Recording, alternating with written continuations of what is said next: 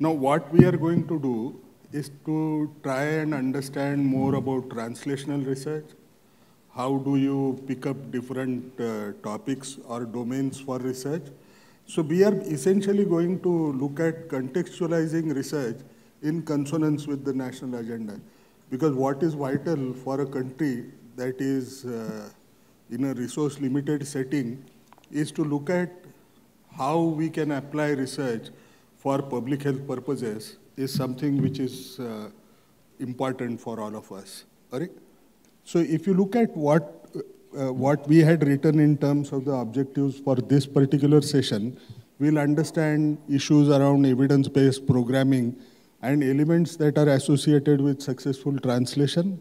We'll understand the complexities uh, in undertaking research in basic science, epidemiology, clinical, and effectiveness of program strategies per se, because that helps the programs to run more effectively and to understand the challenges and opportunities in harmonizing national and global research priorities. And to do all this, perhaps we have the most uh, experienced people on the dais who would help me make that understanding little better uh, than what I would do myself. If you think of research, to me, if you ask me, research is more like a luxury in resource limited settings. Research is associated with long, enduring, and a patient uh, work. No? You tend to spend large number of years to you know, prove your hypothesis, and that requires huge amount of patience. To me, translational research is a low-hanging fruit because you tend to get successes as a shortcut, you know, because you choose your topic in such a manner that you can perhaps be far more successful very quickly. It can lead to formulating newer policies, the strategies, or modifying the strategies that are existent and benefit millions of people. It does not mean, to my mind, now some of the thoughts are my own, people may agree, people may not agree with me, but it does not mean that one should not do basic research. One must remember the mRNA vaccines, which we know as one of the most evolved step in vaccination, the mRNA research took place in 1990s, and the scientists found it very difficult to even publish those results at that point in time. But after two decades, people realized its importance. And that's something which we have to keep at the back of mind. How does one select a domain for translational research? One which we must remember, you must find disease which has a high disease burden, or perhaps a niche area in one of those diseases where answers uh, for even treatment strategies do not exist as of now. Maturity of national programs, you know, what kind of strategies, they are adopting, where are we, and what is most important, is the program flexible enough to actually try and take up any knowledge gap to be covered with newer strategies. We must also reflect within and try and see one's own competence and the ecosystem in which you are placed, because that should be one which should enable you to uh, ensure that your research could be really productive. And interest of funding agencies is extremely critical because not every area is considered as a fundable area by uh, agencies per se. It is important to keep your eyes fixed on the long-term goal, but we must break the journey into small steps. Now I'll try to give examples. As I saw, I have spent about three decades in HIV, and we know we transformed the whole scene uh, of HIV in the country and effectively enough. If you actually look at, you know, what made the huge difference? It was one case series of five patients that were found in Los Angeles who had certain different presentation. And even a small case series can lead to such a good discovery that it shaped the entire approach uh, of understanding AIDS, and then we, what followed was AIDS pandemic that we all know. But should this be considered as an important approach per se? Perhaps not, you need to be very lucky to come out with those five cases because you need to be extremely vigilant. But even a case series or a case report can make a difference. Not only here, if you recall, Legionnaires disease was actually discovered out of a conference just because people were vigilant. It is not necessary that you should conduct a very large study to make a difference. I recall my early days in 1989. If you look at the setting that we had in India, people used to say an ELISA test was not even possible in blood bank. It was not there in public health setting. What did we do? One of the things that was done was we tested professional blood donors. And the reason was simple it is a transfusion transmitted disease. So 70 odd professional donors, that time more than 60% of the blood used to come from professional donors. And when we tested only 70 people, we found 63 of them as infected. And the result, we followed up with a PIL. That time I used to be in Bombay.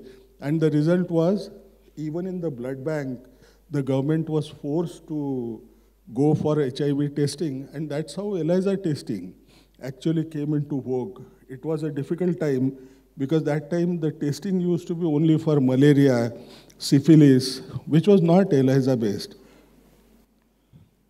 If you look at the national backdrop of HIV, it's a disease that is seen among sinners, was a strong notion that was prevalent at that time.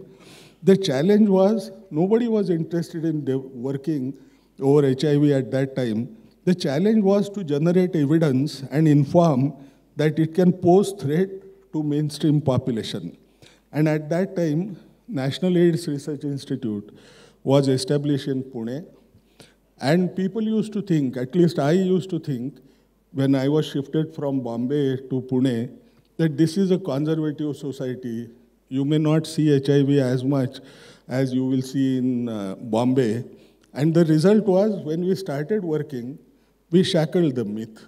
No, what we found that if you look at female sex workers, their prevalence was 56%. If you look at male STD patients, the clients of sex workers, you found that the prevalence was almost 20%. And you look at the incidence in both the cases, you suddenly find that we became number one globally when it came to these abnormal numbers, to my mind, at that juncture, because nobody expected at that point in time. What was the use? What was it that we used in India, this particular evidence? No, what we said was our epidemic is sex work driven.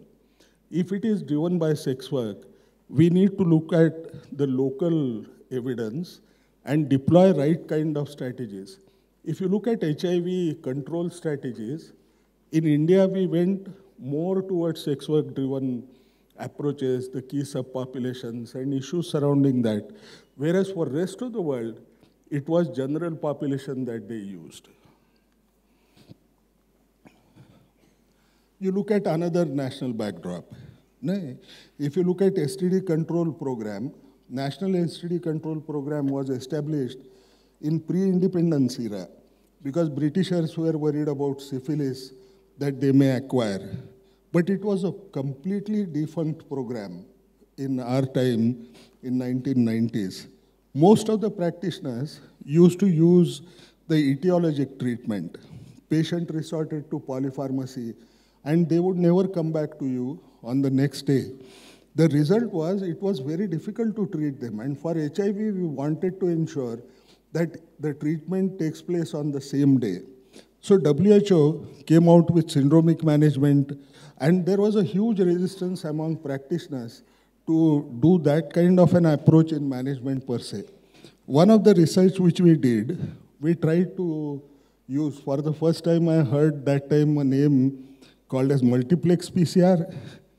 We tried to look at these STD patients, and what did we find? We found that 20% of the patients, they tend to have two different, more than one STD at any given point in time.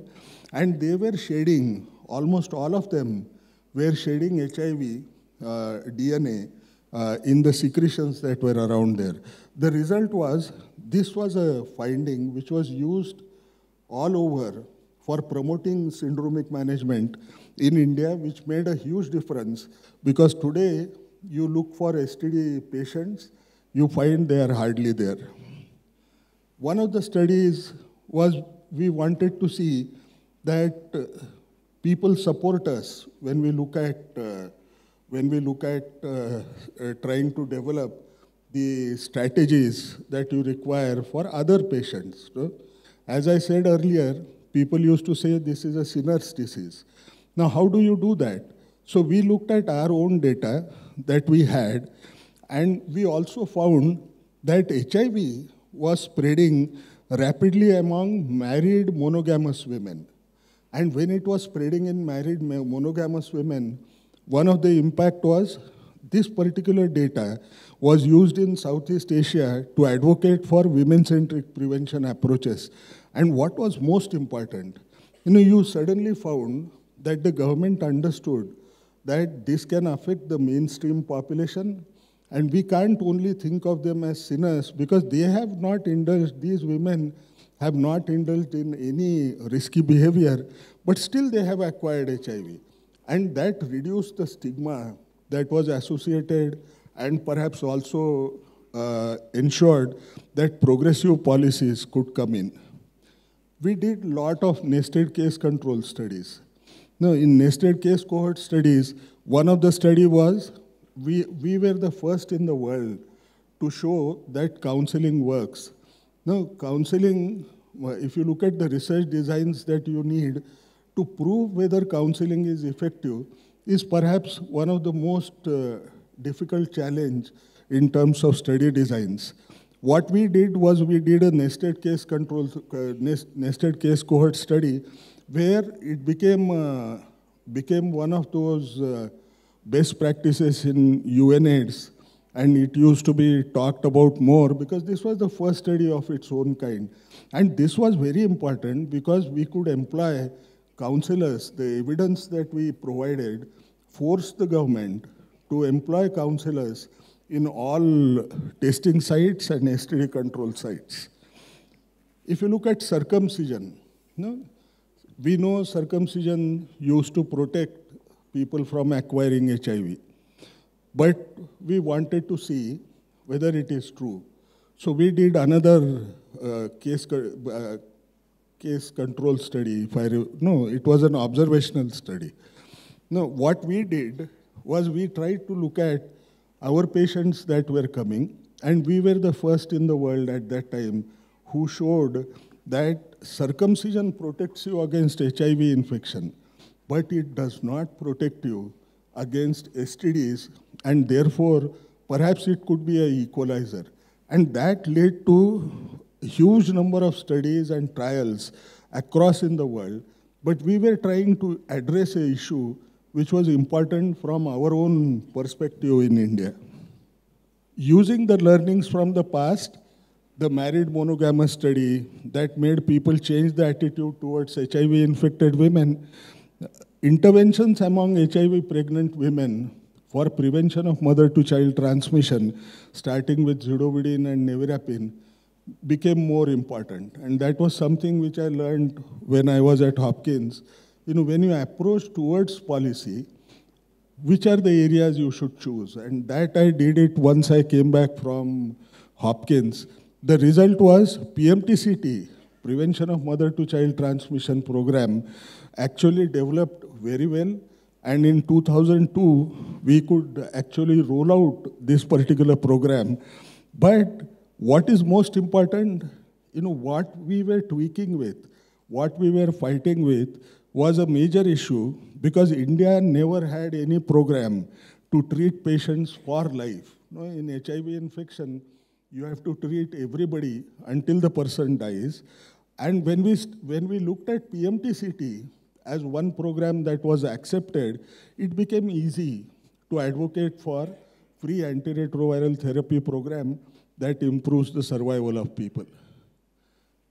Research that impacts HIV disease management, we also did what is called as HPTN 052 trial. this was a collaborative effort across in the world. It was a NIH uh, uh, uh, trial. What we showed that if you put a patient on antiretroviral therapy, you will perhaps reduce the risk of transmission of HIV to an uninfected partner by 93%, and it reduces incidence of opportunistic infection. And that was used for pushing test and treat strategy, which was accepted in 2017 uh, uh, in India, but it was adopted globally far earlier. In another study, we showed that 13.3% individuals fail at the end of first year, and this evidence was used to push for plasma viral load testing, which is very costly in even Indian program. In conclusion, keep a long-term goal, break it in small achievable but critical steps, learn to communicate for effective advocacy using means, all means that you have, stay focused, gather a passionate research team. In today's world, evidence-based policies are becoming more common.